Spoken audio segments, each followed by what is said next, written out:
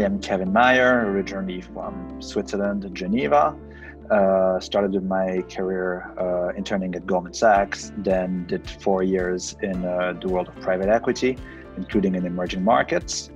Uh, continued with uh, my MBA in Wharton Business School, and for the past two and a half years have been the Chief Investment Officer at Omnam Group, based out of London. Omnam is a company that is seven years old, uh, was founded by David Zisser, who's a veteran in the hotel development industry. Uh, starting from a mixed use project in Amsterdam, the company has now grown to have uh, six projects developed under development with a development value of over 1 billion euros. Our business model is to invest only in opportunistic, sometimes mixed use, sometimes pure hospitality projects uh, with the idea of returning higher IRR to our investors. Uh, we are a design led company, and we believe uh, that our view is that hospitality has great times ahead despite Corona, and we are focused on this sub-market of the real estate industry.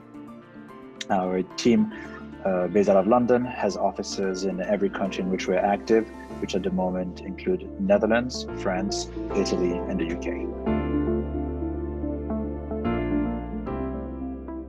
So we do ground up uh, developments and uh, redevelopments uh, of projects. We are focused on uh, middle scale and large scale projects, uh, as we believe that this is where the best opportunities are for speculative developments. Um, we work with, uh, we are in talks, so we work with all of the major hotel operating brands in the world that include Intercontinental, Marriott, Radisson Group. Um, and uh, we try to always match the best operator and brand with the different assets. In terms of capital, we do not have a dedicated fund, so we raise money on a deal by deal basis. Uh, always looking for the best, I would say, clientele for each one of our investments based on the risk profile and the timing uh, and the horizon of each project. Uh, our investors include everything from high net worth individual to multifamily offices uh, all the way to institutional investors and hedge funds.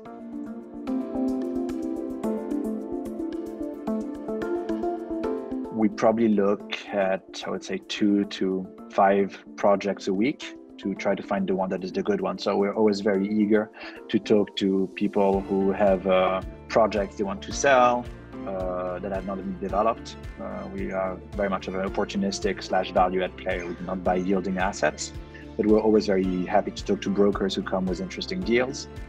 We also uh, are always on the lookout for new sources of capital, both equity and debt. So we're happy to talk to uh, debt funds, happy to talk to commercial banks.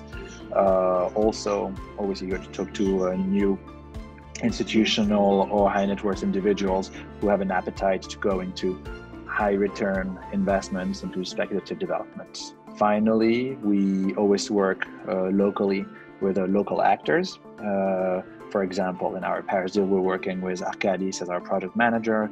In our Rotterdam project, we're working with Drees & Sommer. It is always important for us to find best-in-class local act, um, people to work with and to partner up with uh, to bring the best product. So we're always eager to talk to these uh, best-in-class local players. Uh, makes what makes me happy is uh, sharing genuine quality times with my family and friends.